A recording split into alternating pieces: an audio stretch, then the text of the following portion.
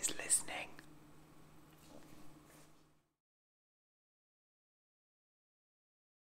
It appears I have developed a new coping strategy. I've got these two red spots here, and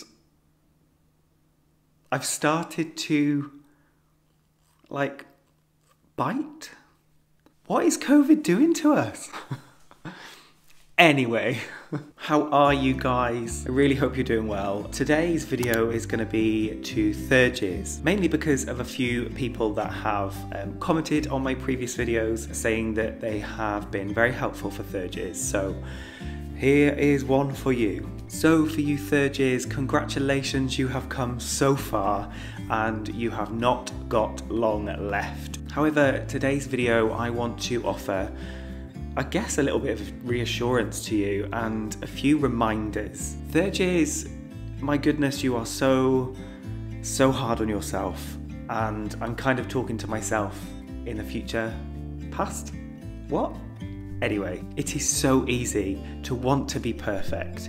It is so easy to try and perfect the art of being a nurse, but you are still a student and you are still going to make mistakes. You are going to make mistakes in this final management placement, and you are going to potentially punish yourself more for them.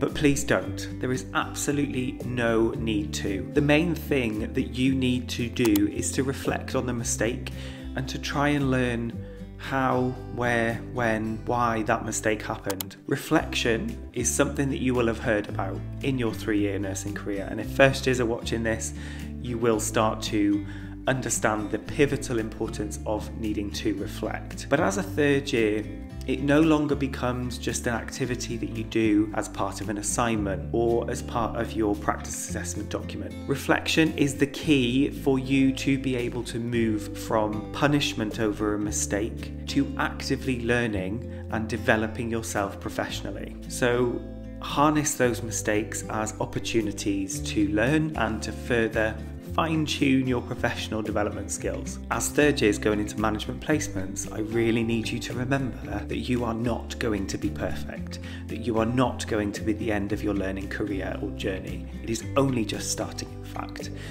But one of the points that I want to take you back to is that idea that going between first year, second year, and third year is not some magical step up that you're at this level, step up now I'm at this level. You have to put a lot of work and energy into getting to that next level. So don't feel like you're going to be there overnight or on your first day of management placement, that you're going to be this perfect student nurse that is ready to qualify. Absolutely not. And you know what? Even at the end of your final management placement, on your final day when you get all your paperwork signed, you are still not going to be perfect. The main things that I could tell you for your final management placement experience would be to be present always at every single moment of that day on placement. Be present. By that, I mean actively engage in your surroundings, actively engage in handovers, in those conversations that maybe as a second or first year you were like, hell no, I'm not getting involved. Start to, you know, take that jump take that leap of faith, have trust in the team that you're working with that they're going to have your back to start to experience some of those very unique situations that you may only get that opportunity to develop as a student. So, even in that final placement, you're still going to have to seek out learning opportunities. So, make sure you're staying tuned into your environment that you're in so you can pick up on any of those opportunities that may come your way. So, the one thing that I will always tell any nurse, any student is find the fun in your day.